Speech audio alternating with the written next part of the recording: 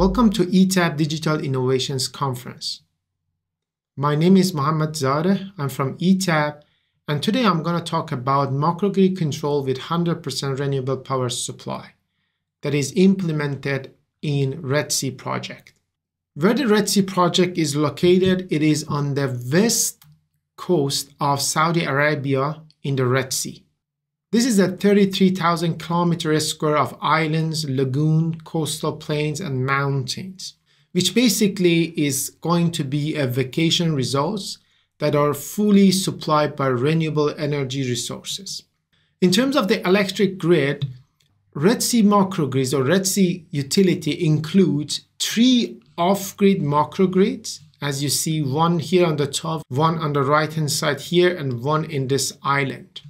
So each of these microgrids, which are uh, permanently islanded, disconnected from anywhere else, they are supplied by two solar PVs, including uh, about 5 megawatt generations, two battery energy storage uh, capable of charging and discharging 5 megawatt total, and about 18 megawatt hour charging capacity. These microgrids also have two internal combustion engines, which are conventional generators, are about 3.8 megawatt. However, these generators most of the times are off and they're just used as a backup in case there's not enough uh, solar power or there's some failure in the system. There's also a main grid that connects uh, five stations uh, in a ring configurations.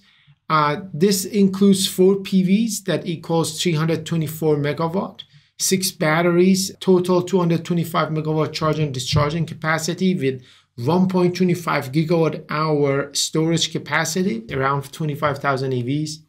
Six internal combustion engine plants, total about 102.5 megawatt.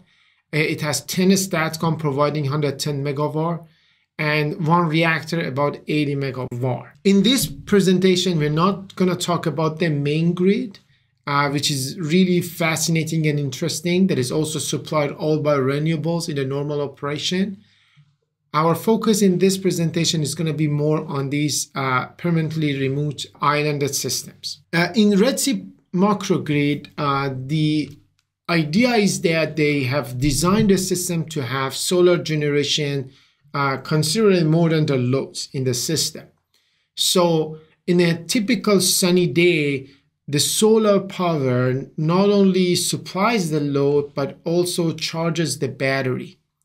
And once the sun sets and there's not enough sun to supply the load, then the battery starts actually discharging and providing power to the loads. Now, in case that there is a cloudy day or there's not enough sun or there's some failure in our systems, then there are two uh, internal combustion engines that can be utilized to supply the load. Again, the system is designed for be able to be sustainable based on the renewable technology for more than 98% of the times.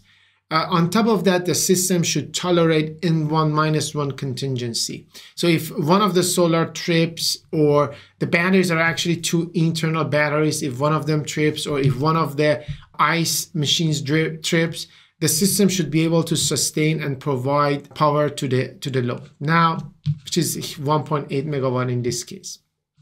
ETAP microgrid controller uh, is used to uh, orchestrate, coordinate, manage, and control assets, the DERs, and the load in the system. Now, we're going to go and deep dive into this microgrid and see how, how it works and what is the challenge and how ETAP microgrid control system address the challenge. Now, in a typical operation, uh, in a very sunny day, when we look at the basically the profile of the load and generation, what you see here is that as the sun rises uh, and the PV power supply goes up, uh, we start charging the battery and supplying the load. As you see here in this scenario, actually at 12 o'clock, we realize that the battery actually is getting full. So the microcontroller is going to command the solar generation to curtail. And for the rest of the day, what's happening is that the microcontroller makes sure that the amount of power generation in PV is very close to what we have in the battery. Certain reserve margin is maintained uh, in the battery by ETAP microcontroller for this operation. Now, as the sun goes down, uh, the basically the microcontroller is going to command the to uncurtail to command the battery to pick up and supply the the load and as you see that's how the system behaves. The battery starts basically charging here and then there's no charge and then there would be a discharge. Now you may say that probably this system is over designed or uh, for most of the times they are curtailing but keep in mind that this is a, uh, the case that the pv generation is maximum uh, in the cases that are clouds in certain days of the winter where there's enough not sun uh, the system should be able still to sustain and uh, maintain the entire load of the system. So that's why you see that in this case, which is a summer day, you have a little bit seems over designed, but in reality is that if you look at a winter day, if you look at some cloudy days, the goal is that to use the renewables as much as possible. Now, also, this is the load for the next few years, and in future, the load can grow, and they designed a system to, to sustain the system for the future load as well. When we look at these microgrids that are really heavy on solar generation, as you see here that the amount of solar generation in many hours a day is actually more than how much gets charged by the battery because the solar is actually providing a load as well as it's charging a battery. So in these microgrids, uh, in order to have a proper load frequency control, there should be some sort of a coordination and collaboration between your the PV generation as well as the battery. First of all, the battery uh, in the typical operation is the main asset. So it runs in the grid forming supporting. Means it has droop functionality uh, like typical generator governor as well as it has a virtual inertia to make sure that it makes the system stable. The second thing is that our solar generation is a grid following supporting. However, it has dual functionality so that during the frequency, actually when the frequency uh, increases, it quickly curtails to support during the frequency increase.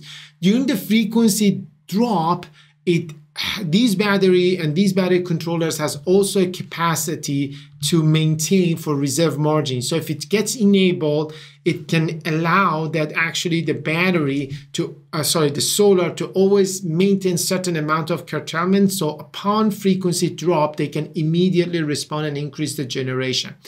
This feature is important. At this point, it's disabled by default to take benefit of the full uh, renewable generations. But in case it's needed and they need more supports during the frequency drop, it can be in, it can be enabled. You, you see that in ETAP, the primary controllers allows to actually provide both the droop functionality uh, as well as the positive reserve margin, uh, also a virtual inertia. Let's quickly look at the ETAP, uh, these features. So this is a kind of a simplistic version of the model. As you see here in the in, in our PV model controller, we provide again the various functions the active power control, reactive power control, and other stuff. And you see that in the active power control, we have a droop functionality, and user can enable, disable, determine the deadband, droop, and positive reserve margin. On top of that, on the uh, battery side, user can also define the uh, grid forming capability if it's needed.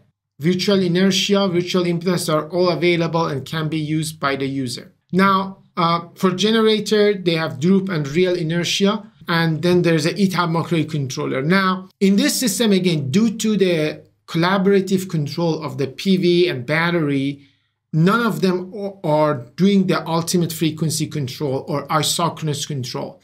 Both of them are droop. So if there is a load variation, if there's a generation variation, the frequency always will uh, fall into the off nominal frequency because both of them are droop. Now, in order to maintain, bring the frequency back to nominal, uh, ETAP provides a secondary frequency control. And if battery would be isochronous, any event happens, ultimately all the shear will be applied to the battery and there will be more pressure on the battery.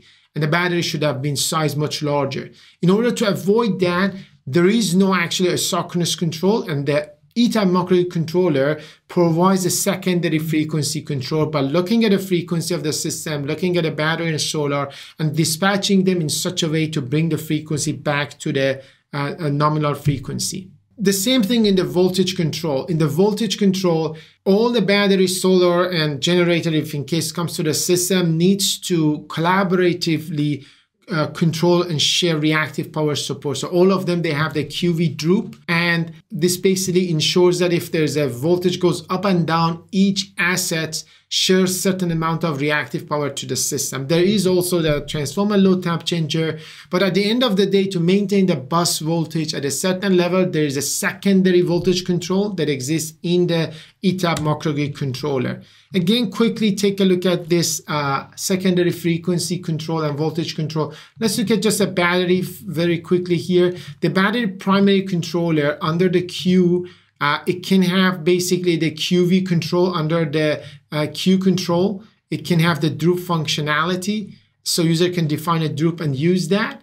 In our microgrid controller, we have a reactive power control that we do the voltage control. So user can define the uh, P gain, internal gain, the ramp rate, and also the dispatch priority, which in this system, PV is priority one and battery is priority two. So when it comes to any disturbance that results into the voltage change, first battery, both battery and ESS reacts dynamically, but then microcontroller is going to go ahead and use the PV as much as possible and unloads the battery to make sure that battery is used mostly for active power control, unless the PV does not have a capability to do that.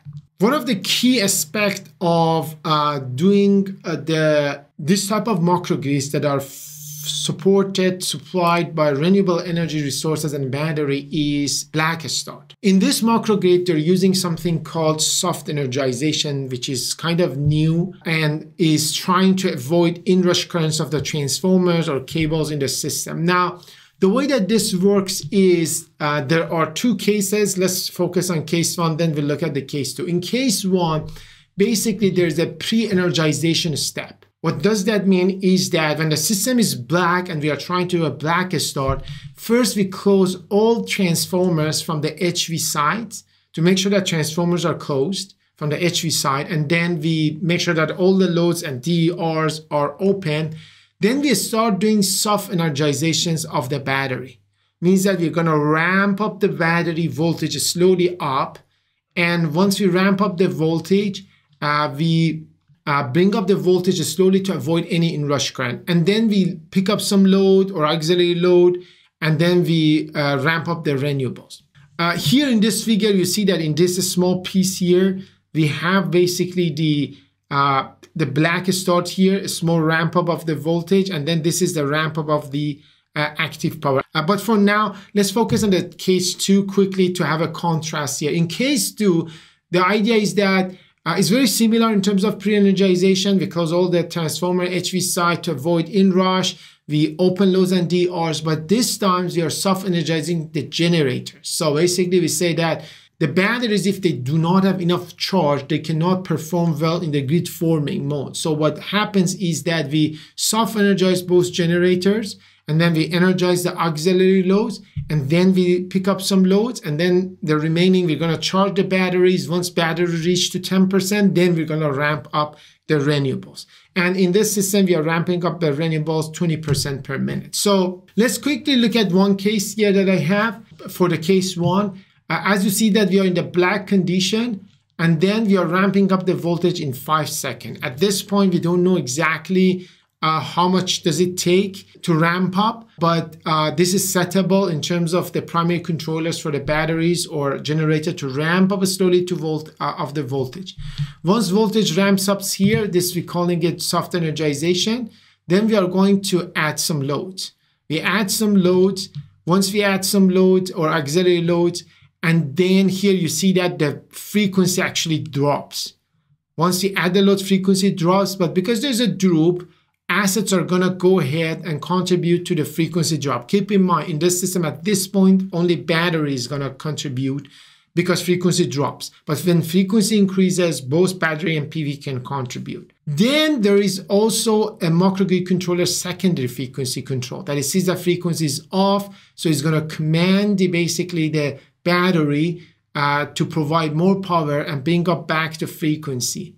And then once at this stage, uh, we do the ramp up of the renewables. And as we are ramping up the renewables, which is supposed to take about five uh, minutes because it's 20% per minute, it's ramping up the renewable about few minutes. And as we ramp up the renewables, because the PV has the, now this time what happens here is that they have a droop and the battery starts to drop. As battery starts to drop, uh, and starts charging, the microgrid controller also does the secondary frequency control. It does not allow the frequency to go up significantly. As the frequency goes up every five seconds, it's going to go ahead and adjust the set points to make sure that frequency comes back to the nominal case. And you see also the sequence of operation here. So one of the beauties of using ETAP is that now that we have the complete digital twin of the system, not only we can set this microgrid controller black start set points in ETAP, but also we can see the full interaction of the microgrid controller black start function, let's say in this case, and the primary controllers that do that. Let's quickly look at here. So we have the black start function, we have the soft energization scheme 2, we have pre-energization, soft energization, auxiliary load energization, load energization, energy storage energization if we start with the generator as a first step and then the renewable ramp ups. So user can set everything here and then uh, in the batteries, let's say we have settings to say that this battery is actually capable of doing the black uh, uh, black soft energization. So you have a settings for soft energization. Now we go through the entire process. When we run the simulations, we force the system go to the black. And once the system goes to the black, you see that all these circuit breakers are tripped. Now the microgrid controller commands to close these circuit breakers as part of pre-energizations. Once this circuit breaker closed, microgrid controller is going to command the batteries to start and do the soft energization. As you see that voltage starts ramping up here, voltage starts ramping up, okay? Now let me do fast forward. Voltage reaches to 100%. Now, once voltage reaches to 100%, we start bringing our loads, okay? The auxiliary load, I think, is uh, added uh, it was not in the previous step. Now it's added. Next step, we're going to bring the other load. We're going to load the system. And then we start connecting our renewables. You see that in this step, actually, my renewable got connected. And then we start increasing, ramping up the renewable. So the renewable is going to ramp up now all the way to the end. Okay, so the entire process of the black start can be monitored in ETAP and visualized. Uh, and this is a great deal when it comes to this type of project. Now, with this, let me just summarize my presentation. Off-grid microgrids that are supplied by renewables and also typically they have battery are very sophisticated. Being able to do simulation and having a digital twin of the entire microgrid is essential to doing the design, selecting a controller scheme, and setting the optimal control settings. It's really important for such microgrids to validate the entire microgrid control system, both primary and secondary and even tertiary systems. And by doing that, it minimizes the amount of HIL checks and field surprises or, or, or failures. It minimizes the HIL tests and field surprises it seems the technology that we use at ETAP with all these digital twin also simplifies and accelerates the logic development process. Now, one of the key aspects of microgrids with battery and renewables is to have a secondary voltage and frequency controls that we provide as part of ETAP microgrid controller. Also, soft energization is the key to be able to uh, black start a microgrid and avoid inrush currents. Typical renewables cannot tolerate or battery cannot tolerate six, seven per unit inrush currents that's needed by transformer. So be able to handle the soft energization by primary controllers and a microgrid controller to orchestrate and coordinate that is very important for, for success of such projects. With that, I'm done with my presentations and I'm more than happy to answer any question. Thank you.